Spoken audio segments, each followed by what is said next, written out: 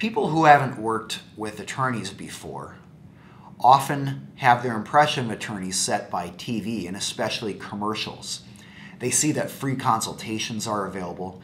They see that attor- attorneys, at least at certain law firms, don't get paid unless you get paid.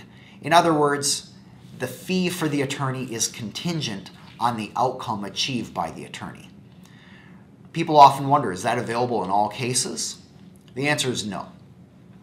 Generally, a contingency fee is going to be available for a personal injury or a serious